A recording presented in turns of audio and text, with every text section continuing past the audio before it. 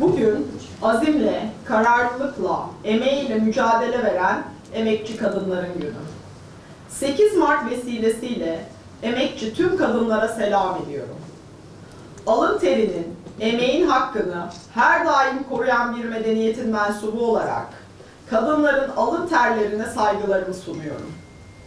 Bizim aslında 8 Mart'ta vereceğimiz en büyük mesaj, Büyük Türkiye hedefimizi kadın erkek omuz omuza gerçekleştireceğimizdir. Bu hayalimizi beşeri sermayenin önemli bir parçası olan fabrika işçisinden ev kadınına, beyaz yakalılardan mavi yakalılara, kırdan kente kadar tüm kadınların emeğiyle gerçekleştireceğiz. Kadın emeğini anmayı görev saydığımız bugün de Sayın Genel Başkanımız, Cumhurbaşkanımızın liderliğinde AK Parti olarak 2002'den bu yana hem temel insan hakları hem de beşeri sermayenin güçlendirilmesi perspektifiyle kadının eğitim, sağlık, istihdam, karar alma mekanizmalarına katılımı yönünde pek çok düzenleme yaptık.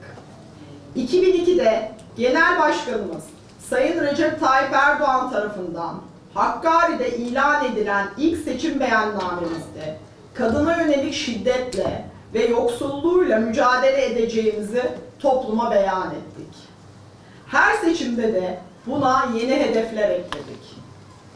Anayasadaki eşitlik ilkesi, Türk Ceza Kanunu'nda töre ve namus cinayeti cezaları, İş kanununda eşit işe eşit ücret düzenlenmesi, doğum izinleri başta olmak üzere aile ve iş yaşamı uyumlaştırılmasına ilişkin düzenlemeler, engelli çocuğu olan anneye 5 yıl erken emeklilik imkanı ve benzeri birçok düzenleme AK Parti döneminde yapılmıştır. Böylelikle eşitlik başta olmak üzere kadının güçlendirilmesi yasal güvence altına alınmıştır. Türk kadını pek çok Avrupa ülkesinden önce seçme seçilme hakkını elde etmiştir. Ülkemizde kadınlar 1935 yılında ilk kez parlamentoda %4.1 oranında temsil edilmiştir. Bu oran 2002 yılına kadar ne yazık ki değişmemiştir. Bugün 2018 seçimleriyle birlikte parlamentoda kadın temsil oranı %17.4'e yükselmiştir. AK Parti, kadının siyasi temsil oranını kabul edilebilir eşiğe ulaşana kadar çalışacaktır. Parti hükümetleri döneminde en önemli fırsat eşitliği aracı olarak kabul edilmiştir. Kararlılığımız sonucunda 2002 yılında yüksek öğretim kız öğrenci oranı %13.5 iken bu rakam 2020 yılında %48.5'e yükselmiştir.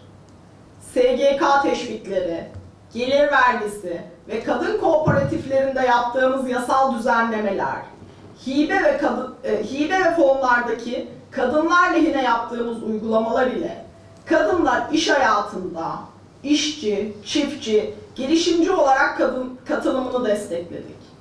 Kadının iş gücüne katılma oranı %27'den %34'e, kadın istihdamı 6 milyondan 10 milyona yükseldi. Kadın kolları olarak bizler de hem ilk il Türkiye'yi dolaştığımız kadın emeği buluşmalarımız hem de nerede kalmıştık projemizle beşeri sermayemizi güçlendirmek için çalışıyoruz. Tüm dünya gibi bizim de canımızı yakan, kadına yönelik şiddetle de mücadele etmekte kararlıyız. Kadına yönelik şiddet gibi çok ağır konular tek bir kanun ile, tek bir metinle bir kalemde sonuçlanacak konular değildir. Ama şunu apaçık söylüyoruz ki bu konuda asla toleransımız yok. Bunu 2002 yılında daha ilk seçim beyannamemizde de ifade ettik. O gün bugündür kararlılığımızı ifade eden düzenlemeleri hayata geçiriyoruz. Genel Başkanımız, Cumhurbaşkanımız Sayın Recep Tayyip Erdoğan'ın liderliğinde anayasada, TCK'da yaptığımız değişiklikler ve 6284 sayılı kanun ile kadına yönelik şiddet ile mücadelede önemli mesafeler aldık. Çalışmaları devam eden yeni düzenlemelerle de kararlılığımızı bir kez daha vurguluyoruz. İhal ve tutuklama şartlarını yeniden düzenliyor ve kadına yönelik şiddetin cezalarını arttırıyoruz. Son olarak biz AK Parti olarak büyük ve güçlü Türkiye idealimiz için çalışıyoruz. Kadın erkek omuz omuza büyük Türkiye'yi inşa edeceğimizin inancındayız. 8 Mart vesilesiyle tüm emekçi kadınları buradan saygıyla selamlıyorum.